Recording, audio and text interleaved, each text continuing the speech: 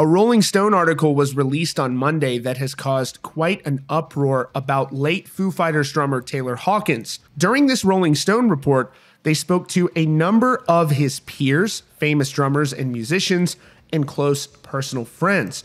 Multiple people interviewed for this report in Rolling Stone claimed that Taylor Hawkins was absolutely exhausted by the Foo Fighters touring schedule and had become very burned out. Now, multiple people who had participated in this news report have released statements distancing themselves from that report. What is interesting, though, is they spoke to multiple different people who essentially expressed the same sentiment. First, they spoke to Pearl Jam drummer Matt Cameron, who said, quote, he told me that he couldn't fucking do it anymore. Those were his words, Cameron told Rolling Stone. He says it was his belief that Taylor Hawkins and Dave Grohl had engaged in a heart to heart about performing so often. Quote, so I guess they did come to some understanding, but it just seems like the touring schedule got even crazier after that.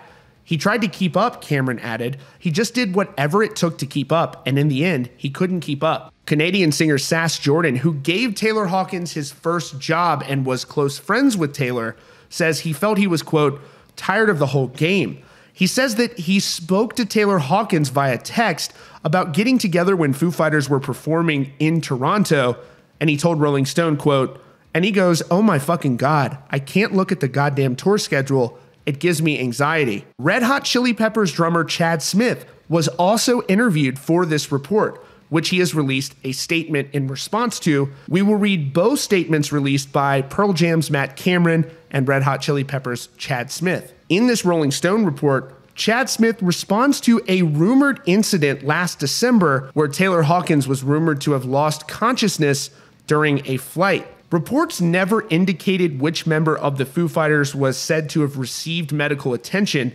but Chad Smith offered this in the article for Rolling Stone. Quote, he just said he was exhausted and collapsed, and they had to pump him full of IVs and shit. He said that incident was, quote, one of the straws that broke the camel's back. After that, he had a real important heart to heart with Dave and the management.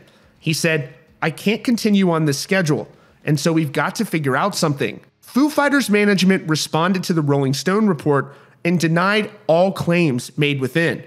Quote, no, there was never a heart to heart or any sort of meeting on the topic with Dave or the management. The representative added that Hawkins, quote, never informed Dave and the management of his feelings about the schedule. It's worth noting that none of the band's members or any of Hawkins' family members agreed to be interviewed. Pearl Jam drummer Matt Cameron released a statement after this Rolling Stone report came out in which he distanced himself from the comments he made. Quote, when I agreed to take part in the Rolling Stone article about Taylor, I assumed it would be a celebration of his life and work.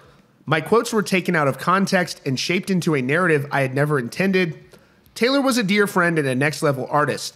I miss him. I have only the deepest love and respect for Taylor, Dave, and the Foo Fighters families. I am truly sorry to have taken part in this interview, and I apologize that my participation may have caused harm to those for whom I have only the deepest respect and admiration.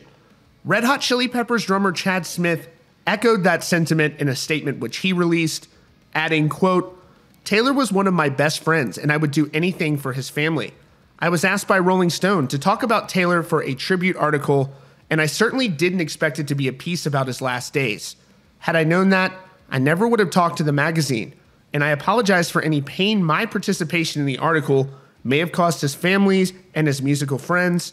I miss him every day. This is definitely a controversial article. It is interesting, though, that multiple people, including his peers in the music industry, did express the sentiment that he was burned out by the Foo Fighters touring schedule. Make of that what you will. That's your latest update from Rockfeed. Be sure to click the subscribe button and the notification bell so you don't miss out on future stories. Check out the recommended videos on your screen and visit rockfeed.net for more.